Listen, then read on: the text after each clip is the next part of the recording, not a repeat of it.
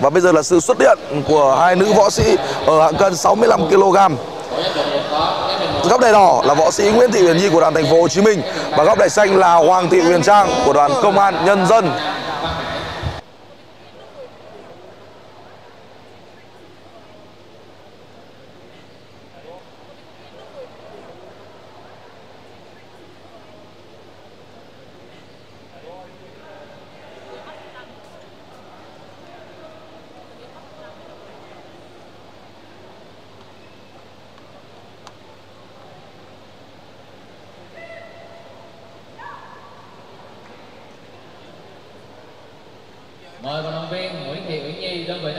Minh có bài đỏ hưởng đài.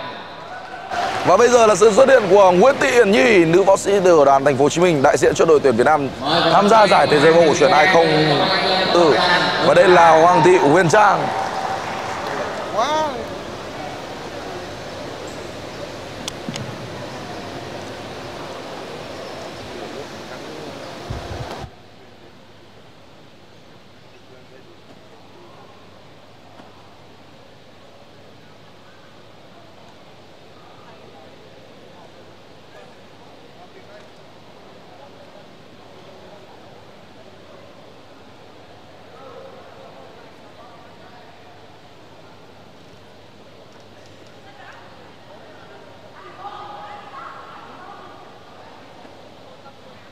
Và chúng ta sẽ đến với hiệp thi đấu đầu tiên trận đấu của hai võ sĩ Huyền Nhi và Huyền Trang ở, ở chung kết là gần 65 kg giải thế giới võ cổ truyền năm 2024.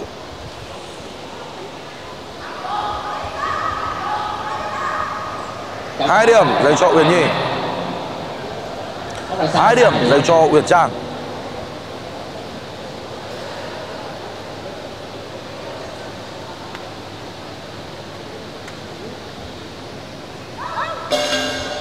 Hiệp thi đấu đầu tiên bắt đầu.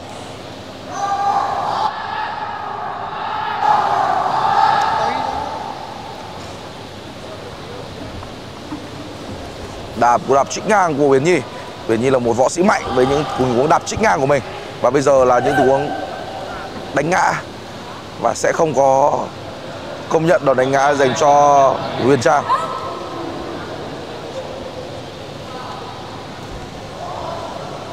ở bộ môn võ cổ truyền Việt Nam ở nội dung đối kháng. Các với một đấm chính xác các võ sĩ sẽ có một điểm một đá chính xác hai điểm và quét ngã. 3 điểm. Võ sĩ thắng hai hiệp liên tiếp sẽ thắng luôn cả trận và trận đấu sẽ không phải bước vào hiệp thi đấu thứ ba. Hai võ sĩ hòa nhau sau hiệp đấu thì trận đấu sẽ phải bước vào hiệp thi đấu thứ ba để giành chiến thắng quyết định. Giải thế giới võ cổ truyền năm 2024 được tổ chức ở nhà thi đấu quận 7, thành phố Hồ Chí Minh. Với các đoàn thể thao mạnh tham dự như đoàn Việt Nam là nước chủ nhà, Belarus, Morocco, Maroc và đoàn thể thao bờ biển Nga và đặc biệt là các vận động viên đến từ đoàn thể thao Cộng hòa Liên bang Nga nơi có những võ sĩ đối kháng thi đấu rất mạnh. Kính mong quý vị và các bạn theo dõi trên các nền tảng của kênh sóng sao thể thao Võ Việt và Việt Nam Sport.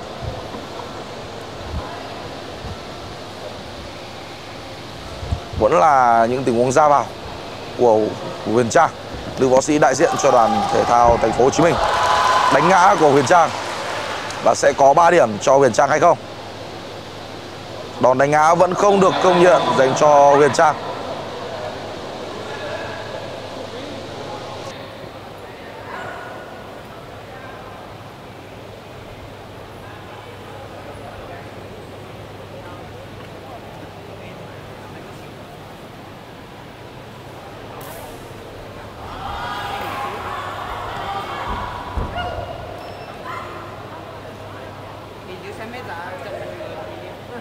Trọng tài không công nhận đòn đánh ngã.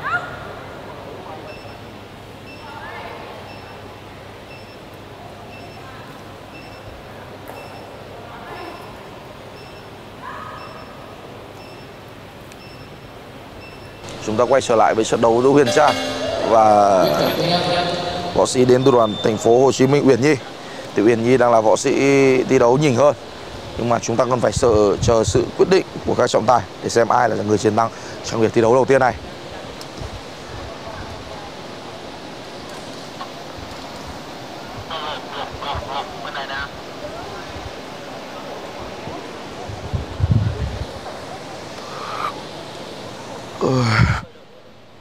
Các giám định chuẩn bị công bố kết quả. Hiệp một xanh thắng. Và ở hiệp thi đấu đầu tiên thì võ sĩ đến từ đoàn công an nhân dân Huyền Trang đã giành chiến thắng 3 trước võ sĩ Uyển Nhi của đoàn thành phố Hồ Chí Minh. Tham dự giải thế giới võ cổ truyền năm 2024. các tập viên xuống đài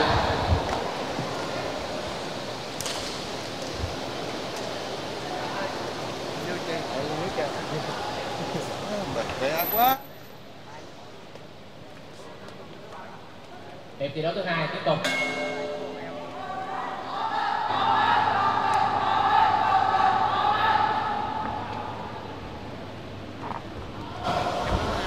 Ok, chúc mừng em tiếng đấy nhá.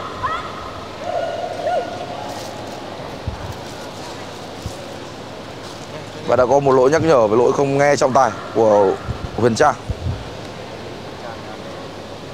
Huyền Trang là võ sĩ có chiều cao nhìn hơn nên những cú đá của Huyền Trang kết hợp với sự nhanh nhẹn và chính xác của cô đang được dẫn trước Huyền Nhi với 32 điểm nhiều hơn. Một tình huống đánh ngã của Huyền Trang đối với Huyền Nhi và ở tình huống này thì sẽ không có cộng điểm cho Huyền Trang. Ở bộ môn võ thuật cổ truyền dân tộc ta ở bộ môn đối kháng, với một đấm chính xác, các võ sĩ sẽ có một điểm đá chính xác 2 điểm đánh ngã là 3 điểm bộ luật tính điểm này yêu cầu các võ sĩ phải có tính linh hoạt trong thi đấu tính toán cao cũng như phải tích cực thi đấu để gỡ lại những điểm số của mình đã mất chứ khoảng tiếng nữa.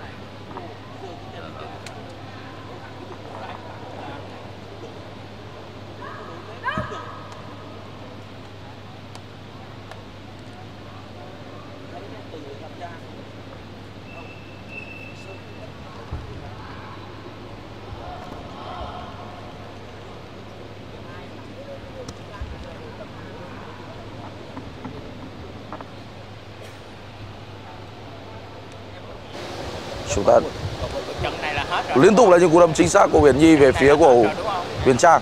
Nhưng Huyền Trang cũng có những tình huống phản đòn rất tốt.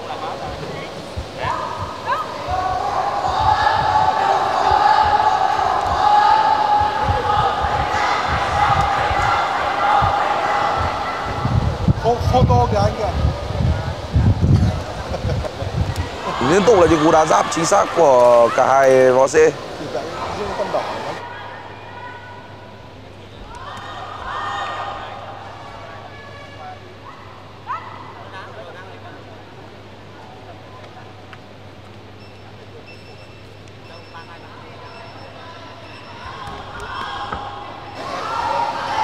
Huyền Nhi vẫn đang gặp bất lợi khá nhiều trước những tình huống đá vào của Huyền Trang, nữ võ sĩ có sải chân dài hơn. Và chiều nay chúng tôi sẽ gửi đến quý vị và bạn những trận đấu hấp dẫn còn lại của chung kết nội dung đối kháng giải thế giới võ cổ truyền năm 2024 nơi có sự xuất hiện của các vận động viên rất mạnh đến từ Cộng hòa Liên bang Nga, Belarus để đối đầu với các vận động viên kỳ cựu đạt thành tích rất tốt của đoàn thể thao Việt Nam. Tôi đây hứa ấy, chiều nay sẽ là một chiều thi đấu bùng nổ trên các kênh sóng của sao thể thao Võ Việt và Việt Nam Sport. Kính mong quý vị và các bạn đón xem và chia sẻ livestream đến với khán giả trong nước cũng như quốc tế để nâng cao tinh thần của võ cổ truyền Việt Nam. Xin được cảm ơn. Và chúng ta cùng chờ điểm số ban trọng tài dành cho hai vận động viên đang thi đấu Uyển Nhi và Huyền Trang ở hiệp thi đấu thứ hai của giải vô địch võ thế giới võ cổ truyền năm nay.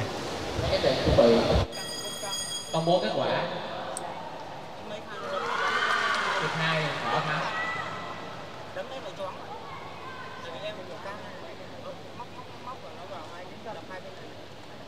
hết trận nghỉ sóc viên xuống đài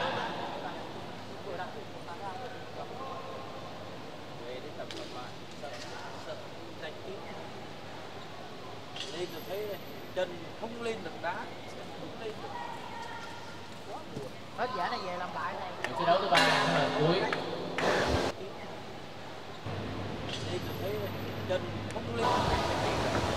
Và chúng ta sẽ tiếp tục quay trở lại với trận đấu này.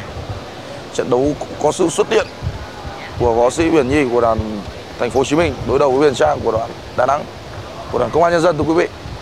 Và chiều nay thì chúng tôi sẽ gửi đến các bạn những trận chung kết hấp dẫn còn lại của giải thế giới vô địch võ cổ truyền nơi có sự xuất hiện của các vận động viên rất mạnh đến từ Belarus và Cộng hòa Liên bang Nga thì sẽ thi đấu cùng với các vận động viên kỳ cựu là những nhà vô địch quốc gia, cúp quốc gia cũng như SEA Games của đội tuyển Việt Nam tại giải thế giới vô truyền năm 2024 được chúng tôi gửi đến quý vị trên các kênh sóng của sao thể thao võ Việt và Việt Nam Sport.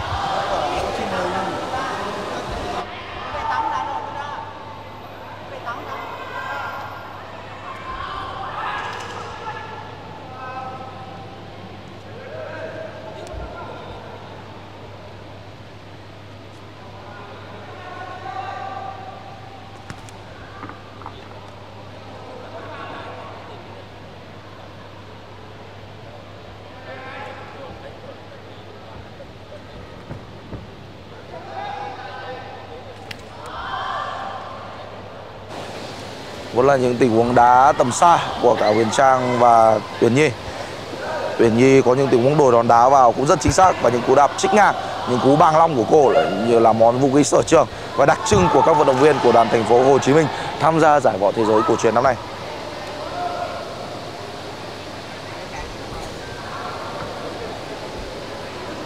Đó là những cú đá của cả hai nữ vận động viên. Cú đấm của Huyền Trang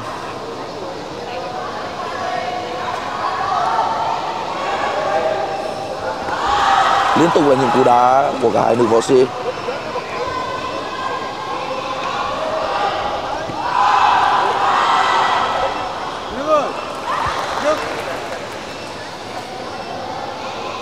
Và buổi chiều ngày hôm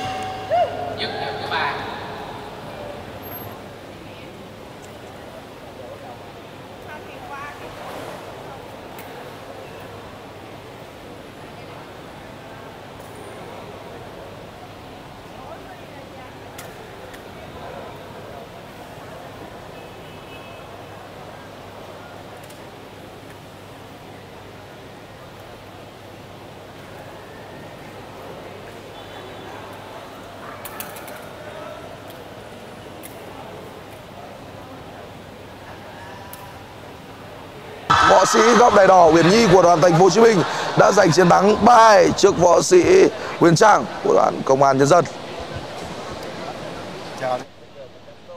kết quả trận đấu võ sĩ Nguyễn Thị Uyển Nhi đơn vị thành phố Hồ Chí Minh có bài đỏ thắng cuộc Và đây cũng là trận đấu cuối cùng trong buổi sáng ngày hôm nay. Chúng tôi cảm ơn quý vị và bạn đã theo dõi